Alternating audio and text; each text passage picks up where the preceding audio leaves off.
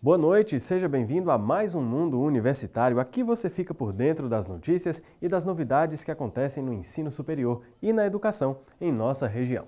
E no programa de hoje vamos falar sobre o trabalho desenvolvido pelo CRAS, Centro de Referência de Assistência Social.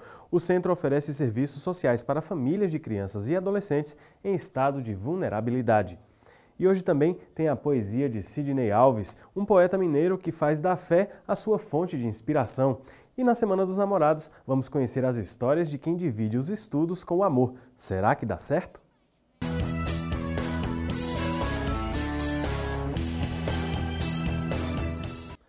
Tem se discutido muito acerca da violência entre os jovens, da diminuição da maioridade penal, de crimes com a participação de adolescentes e crianças.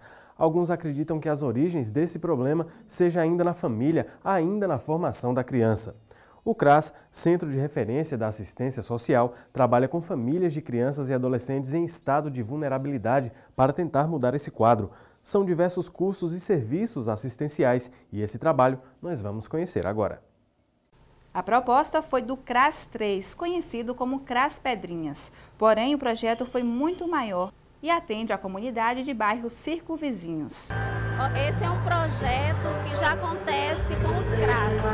É, o objetivo é divulgar o serviço tá? e trazer a comunidade para perto do CRAS. Vários serviços de saúde foram oferecidos, como aferição da pressão arterial e teste de glicemia. A comunidade teve acesso por meio da UESB e também da Prefeitura de Conquista. Já a animação ficou por conta dos alunos do projeto Mais Educação, de uma escola de José Gonçalves.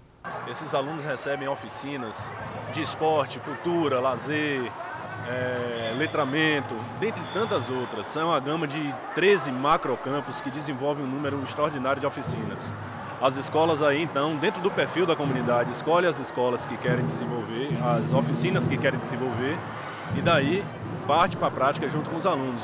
E no próximo bloco nós vamos conhecer a fé e a poesia do mineiro Sidney Alves. A gente volta já.